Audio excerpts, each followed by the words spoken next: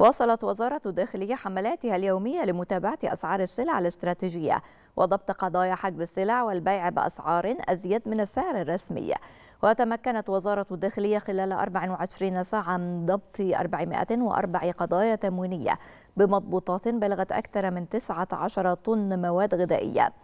وفي مجالي حجب السلع الاستراتيجية والاستيلاء على السلع المدعومة. تم ضبط أكثر من عشرة أطنان لمواد غذائية وغير غذائية. وفي مجال عدم الإعلان عن الأسعار بقصد البيع بأزيد من السعر الرسمي للسلع الغذائية.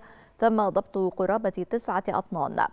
كما تم ضبط 611 قضية في مجال قضايا المخابز من بينها 53 قضية خبز ناقص الوزن و77 قضية خبز غير مطابق للمواصفات.